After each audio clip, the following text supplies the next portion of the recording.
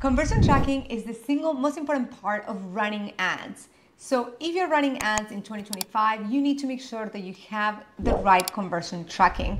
This is what's gonna make your campaigns or break your campaigns. It's basically the difference between being able to scale and actually get profit from running ads versus burning through cash because you can't really identify what's working and what is not.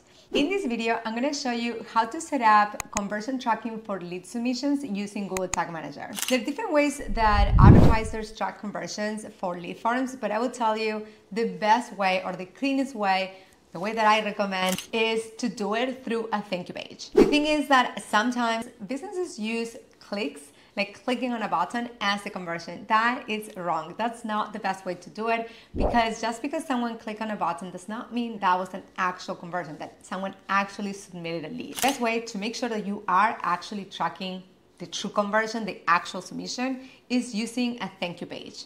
In this video, we're going to walk you through step by step of how to do that. To get started, the first thing that we want to do is open our Google Ads account, head to goals, summary, and then click on create conversion action. We're gonna have to scan our website. This is something that Google does because it wants to create events for you, but we're gonna click add a conversion action manually. We are going to select submit lead form, and then we can actually name our lead form. So I'm going to put YouTube lead form submission. You can name it anything that you want. We then have to choose a value. Now, if you are an e-commerce brand, you will have a specific value for each one of the purchases. So you would actually select here a value. But because this is a lead form, I'm actually going to go with one. Now we have to select how many conversions to count per click or interaction. If you are an e-commerce brand and you are trying to generate sales, tracking every single conversion is important. But if you are generating leads like we are in this case, we are actually going to go with one, and this is actually what Google recommends. You don't want to be counting multiple times when one single person submits the form. Then for attribution, we actually have two options, last click or data driven, but I do recommend that you stay with the data driven attribution. We are going to select done, and now we're going to select save and continue. The next thing that we have to do is select how we want to set up this conversion. Now this is a test account. I don't have the Google tag set up. You can actually email the instructions to your master or your developer, but we are going to go with use Google Tag Manager.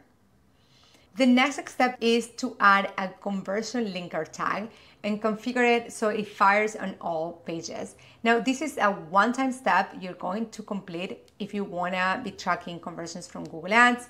And basically the conversion linker tag are used to help tags measure clicks data so that conversions are measured effectively. It's a one-time setup. It's super easy. I'm gonna walk you through it. And that's what we're gonna do first before we actually finish setting up or conversion in the thank you page. Now we're gonna head to Google Tag Manager. I do have already an account for Power Your Ads.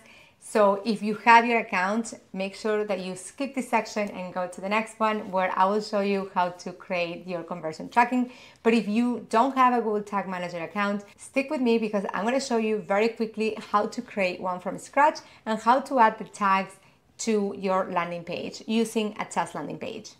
So you're gonna go to create account. You can name it, you know, your company. I'm gonna actually use just like test.com. Then I have to choose what type of platform I want to track. So in this case, I'm gonna select web because I do want to track activities in my website and I'm gonna click create. So you're going to have to accept that and then say yes. And that's all you have to do to create your account. Now, the next thing that we're gonna have to do is add this code into the website. So I don't, my website already has a GTM tag, so I'm not gonna add it there, but I'm gonna show you in a different test landing page so that how simple it is. So the first thing we're gonna do is click here, copy. Here I have a test landing page. So I would go to JavaScript code, add new script.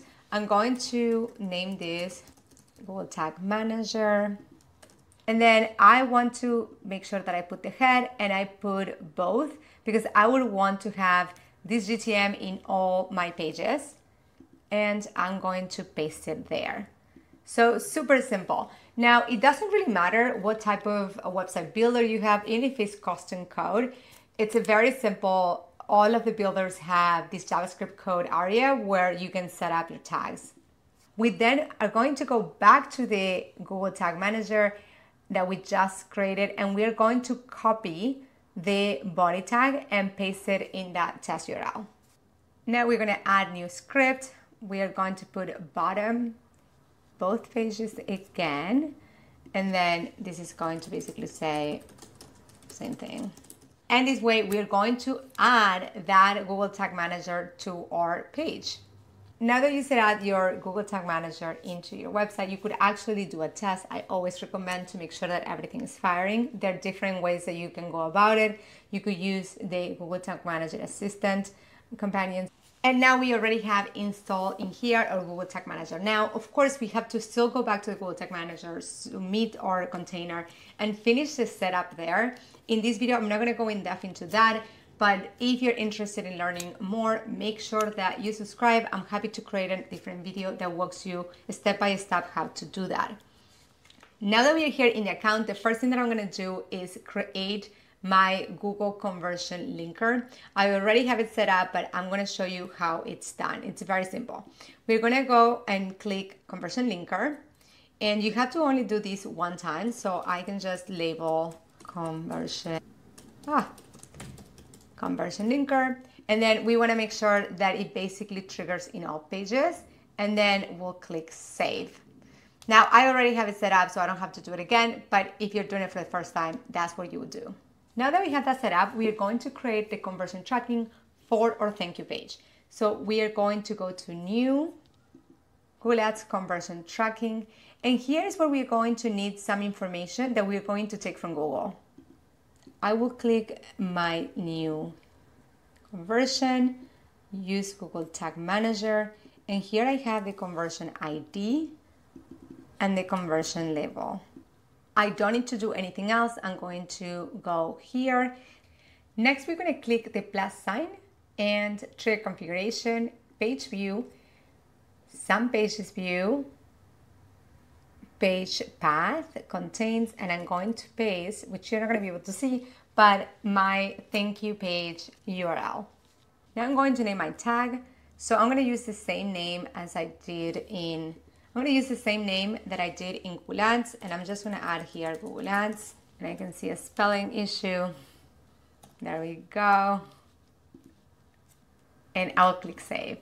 As a recap is that we basically have our tag configuration. This is the name that I have also on Google Ads. Except that I had some spelling issues, but we know that this is the one that I had. Here we have already the conversion ID, we have the conversion label, and it's going to fire when we are in the thank you page, which is super important because that's what makes this the best setup. Now that we have this, I'm going to basically click submit and I'm going to publish this change. The next thing that I can do is actually test. Now it's connecting. Here is the page. And as you can see, the bank is on. So that means this should have a fire. I'm going to click finished and it's going to show me which are the events that fire. And as you can see, Google Ads YouTube Lead Form fire. Now this information is actually going to be fed back to Google Ads. In this video, I show you how to easily set up conversion tracking for your lead form submissions using Google Tag Manager. If you enjoyed this video, make sure that you hit subscribe to get notified when my next video comes out.